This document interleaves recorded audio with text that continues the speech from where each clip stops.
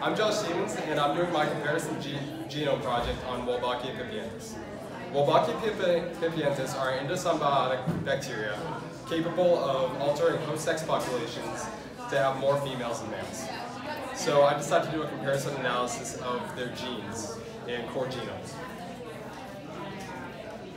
I began by downloading raw data from the ENA, which can be seen in the bottom table one, and I used Trimmomatic to remove lab-added sequences from the raw data down here.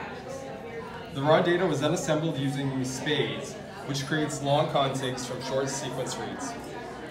Genes in these contigs were then annotated using Prokka down here, right? Yeah. I then downloaded a reference genome from the NCBI and compared one of my genomes from the ENA using QUAST. And this figure up here is the comparison of base pairs in their sequences. It clearly shows there's contamination as there's 170 million base pairs compared to the 1.2 million base pairs seen in the reference genome. So next I started looking into what could be the contamination. Down here we use GenomePeek to determine what products, what other DNA could be relevant in their in the DNA download. In figure six, there's Homo sapien DNA, which is likely from the researcher who was conducting the research project. And in figure five, there is an array of DNA from other bacteria and other food that their host might have been digesting. Next, I looked at the 16S gene and I ran a blast search on all of the ones from the NCBI and ENA. Down here is a table and it shows all of the top results the middle section.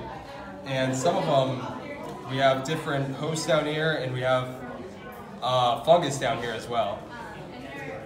From one of the uh, Drosophila flies was a fungus-eating fly. So it's likely that Wolbachia had some of that in it. Uh, next, I did a comparison of the core genes. And I used Roary to make this Phandango graph, which shows little, little, um, what's the word I'm looking for? Little similarity in the genomes themselves. So next, I looked at the total gene sizes, total core gene sizes in different small groups of these strains. Now, up here in the strains 7 through 10, they were only, oh my god, only 700 gene, core genes of the 1600 prevalent.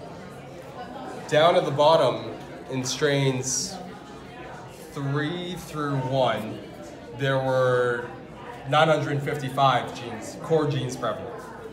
When all of them were mixed together, there were only four total core genes combined, meaning that there was there's lots of diversity in the Wolbachia pipientis species. Then, to determine if by standards this was a species, we looked at an ANI calculator. The ANI calcula calculator graph is here, and the threshold for to be considered a species typically is at 95% identi identical nucleotide identity. Most of these strains were under the threshold, except for up to strain 4, these were all similar. 10 through 7 were all similar. And strain 6 was a different one. Strain 6 was from a nematode host, while the others were all from arthropod hosts. So it's odd that the nematode was in the middle of the phylogenetic tree, but it's the least similar of the bunch and is one, one way these could be classified as different species. Um, now, in conclusion, Wolbachia strains are highly diverse and can be looked at in different, as a different species in some ways. But more research needs to be done to conclude this. One way to do this would be looking at branch length on phylogenetic trees and this was suggest suggested by Jonathan Eisen down here.